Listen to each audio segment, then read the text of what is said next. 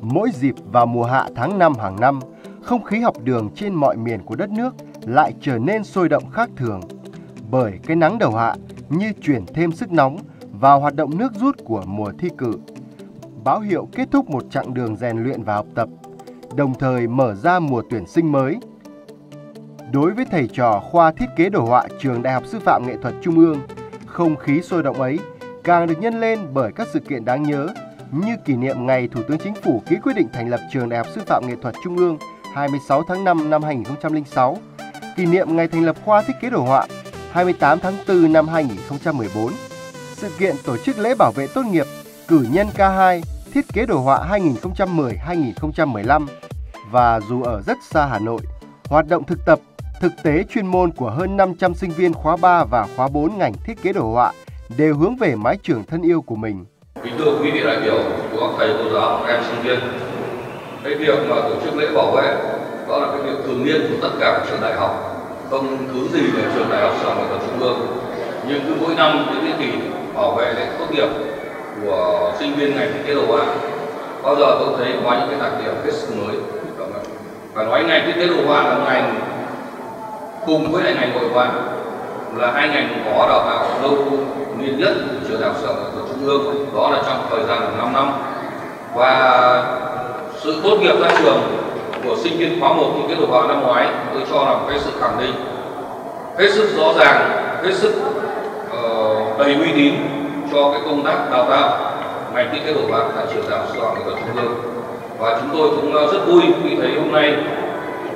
cái khóa hai này nhìn sơ bộ thì cũng thấy là đã tiềm ẩn trong đó là rất nhiều cái rất nhiều cái ờ, sự mà có quyền hy vọng cho cái tương lai của phát triển ngành đồ họa Việt Nam. Và hôm nay thì thay mặt cho trường đại học sở trung ương, chúng tôi rất vui mừng vì hôm nay đã có rất nhiều các bạn cũng thuộc lĩnh vực thiết kế đồ họa của các trường ở trong ờ, khu vực Hà Nội và các trường ờ, các cơ quan y quan, các công ty cũng đến tham dự cùng với nhà trường. Và chúng tôi hy vọng rằng cái sự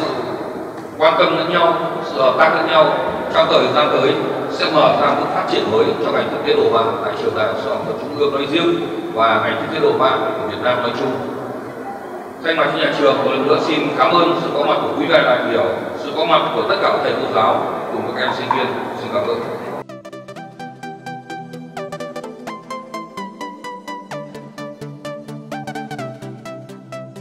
Nhìn lại 6 năm thành lập, từ những bước đầu của tổ bộ môn với khó khăn trăm bề, đến nay khoa thiết kế đồ họa đã trưởng thành và là một khoa lớn của Trường Đại học Sư phạm Nghệ thuật Trung ương với 36 cán bộ giảng viên, gồm hai tổ bộ môn sáng tác thiết kế và cơ sở ngành đã tổ chức thành công lễ bảo vệ tốt nghiệp ngành thiết kế đồ họa cho khóa 1 tháng 5 năm 2014 với 72 cử nhân và khóa 2 tháng 5 năm 2015 với 105 cử nhân. Tuy thời gian chưa dài, chưa tạo nên kỳ tích đào tạo, nhưng thành quả đã đạt được của K1 sau một năm ra trường cũng đáng để ghi nhận. Với 90% sinh viên đã có việc làm, thu nhập ổn định trong nhiều lĩnh vực như ngân hàng, truyền hình, các nhà xuất bản, các công ty quảng cáo truyền thông, giáo viên và nhiều lĩnh vực mỹ thuật ứng dụng khác. Một số sinh viên đang theo học thạc sĩ tại các cơ sở đào tạo cùng chuyên ngành, ví như một cuốn sách đã đi vào cuộc sống, bước đầu đã phát huy tác dụng. Và hôm nay, cuốn sách mang tên K2 Thiết kế đồ họa ghi dấu ấn bằng các sáng tạo trong đồ án tốt nghiệp, được kế thừa và phát triển thêm về nội dung và đa dạng về hình thức, thể hiện sự tự tin trong tiếp cận tính muôn vẻ của các ứng dụng thiết kế đồ họa hiện đại.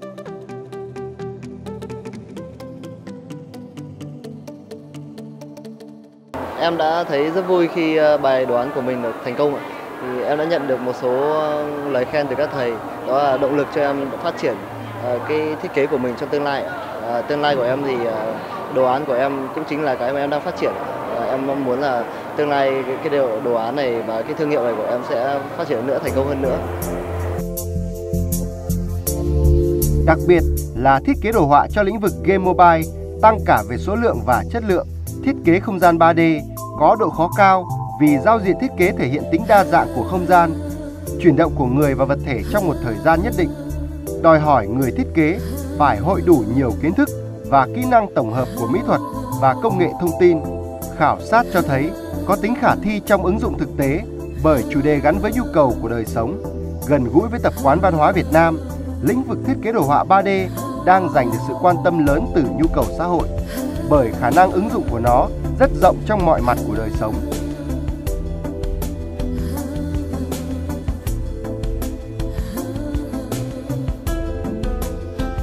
Các đồ án thiết kế đồ họa thuộc lĩnh vực thương mại luôn chiếm tỷ lệ lớn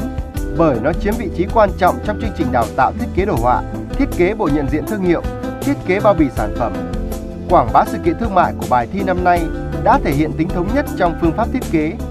sự vững vàng trong vận dụng vật liệu, các quy chuẩn về định dạng sản phẩm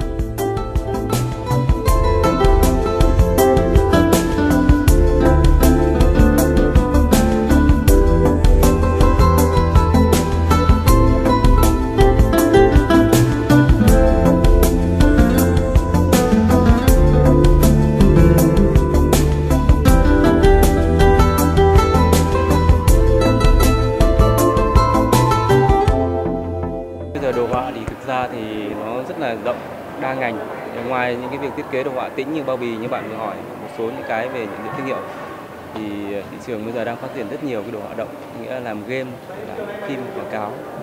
làm phim hoạt hình 2D 3D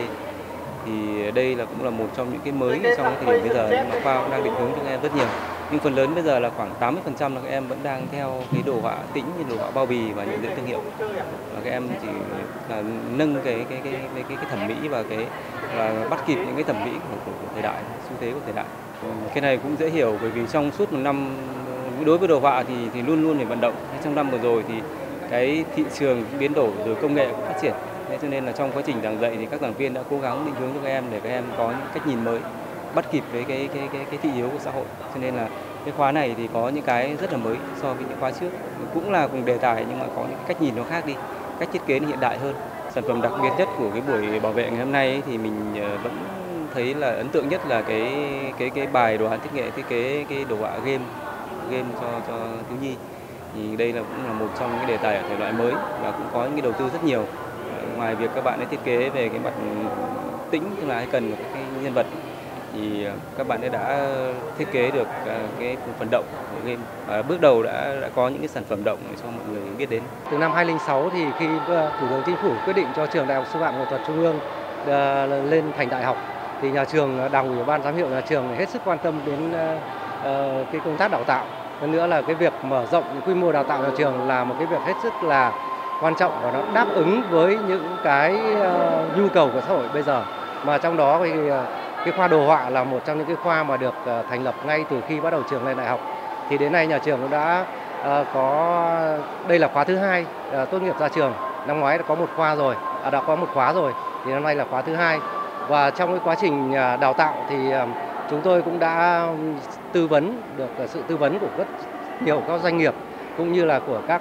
thầy cô giáo ở tất cả các nơi các cơ sở đào tạo cũng đã hỗ trợ cho nhà trường để làm sao đó để nâng cao được cái chất lượng đào tạo đặc biệt là cái môn cái ngành đồ họa là một cái ngành mà bây giờ được xã hội rất là quan tâm. Và cái số lượng sinh viên của nhà trường đào tạo đồ họa hàng năm là cũng cũng rất là nhiều. Với những cái chất lượng chuyên môn từ khóa 1 đến khóa 2 thì như hôm nay là như các bạn thấy là đang chấm những cái bài uh, tốt nghiệp. Thì về cái chất lượng chuyên môn thì tôi cho rằng là tương đối khá. Và trong tất cả những cái đợt mà chấm bài tốt nghiệp này chúng tôi cũng đều mời các cái doanh nghiệp mà có những cái ờ, mối quan hệ cũng như là có những cái ngành nghề mà nó liên quan đến cái ngành nghề của các em đang học tập ở đây. Ví dụ như là thiết kế bao bì sản phẩm hoặc là tạo những cái ờ, thương hiệu sản phẩm. Thiết kế những cái thương hiệu sản phẩm thì ờ, cũng đã được các doanh nghiệp đánh giá rất là cao. Mà thực tế là trong những cái năm gần đây cũng có rất nhiều sinh viên đang học tập trong nhà trường nhưng cũng đã có những cái sự cộng tác với các cái doanh nghiệp đấy để đến để làm việc mà Ờ, thông qua đó thì các em cũng nâng cao được cái chất lượng ờ, tức là những cái kỹ năng cũng như là cái tư duy thẩm mỹ để làm sao đó để nó đáp ứng được với cái nhu cầu của xã hội bây giờ đang đang ờ, rất là cần. Thì như các bạn thấy là hôm nay về cái chất lượng của cái bài tốt nghiệp hôm nay thì tôi cho rằng đây nó là một cái sự nỗ lực hết sức lớn của các thầy, các cô giáo và các em, các bạn sinh viên. Là tôi cho rằng là với cái ý thức, với cái thái độ mà các bạn làm việc như thế này, tôi cho rằng là khi ra trường thì các em sẽ phát huy được tất cả những cái gì, những cái ờ, năng lực của mình để cống hiến cho xã hội. Điểm qua một vài đồ án của kỳ thi tốt nghiệp khóa 2 thiết kế đồ họa năm nay để thấy những bước chuyển biến đáng khích lệ. Đó là nỗ lực của mỗi sinh viên để khẳng định năng lực sáng tạo cá nhân và sự tận tâm của tập thể lãnh đạo giảng viên khoa thiết kế đồ họa. Trong đó, có sự góp phần không nhỏ của thế hệ giảng viên trẻ tiếp thêm nguồn năng lượng mới đầy nhiệt huyết. Sự từ tâm và khả năng sáng tạo mới là cơ sở cho sự phát triển bền vững của khoa thiết kế đồ họa trong tương lai. Diện mạo ấy đã được họa sĩ Lê Thân, trưởng phòng đào tạo trường Đại học Mỹ thuật Công nghiệp nhận xét trong buổi lễ tốt nghiệp ngày 22 tháng 5 năm 2015. Tuy bề dày truyền thống chưa nhiều, nhưng sau khoảng thời gian ngắn, khoa thiết kế đồ họa trường Đại học Sư phạm Nghệ thuật Trung ương đã trở thành một thương hiệu đào tạo nghệ thuật lớn, chất lượng sản phẩm đào tạo được khẳng định và được xã hội tin dùng. Đó là lời động viên chân thành từ một người làm công tác đào tạo lâu năm để thầy trò khoa thiết kế đồ họa tự tin hơn trong chặng đường dài sắp tới. Dẫu biết rằng cuốn sách nào, khóa học nào cũng đi đến hồi kết, để lại những cảm xúc đan xen khó diễn tả thành lời. Nhưng chúng ta vui và hạnh phúc vì đã cùng nhau cộng tác để được làm việc và được học tập